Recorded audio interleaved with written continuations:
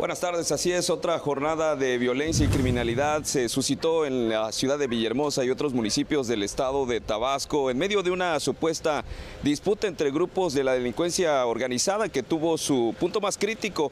Aquí donde me encuentro en la colonia Gaviotas Sur, donde fue asaltada e incendiada una tienda de una cadena de supermercados y que pues generó zozobra, conmoción entre la población. Otra sucursal ubicada en la esquina de Simón Sarlad y Melchor Ocampo en la colonia Tasta también fue atracada.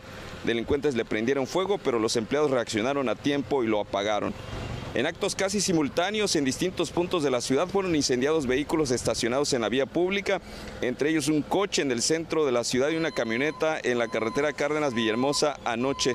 También se registraron ejecuciones en el municipio de Comalcalco. La víctima fue un hombre que se encontraba en un puesto de comida de la calle Zaragoza y aquí en Villahermosa otra persona fue asesinada en la colonia Miguel Hidalgo, con lo cual se contabilizan al menos cinco ejecuciones en un lapso de 24 horas.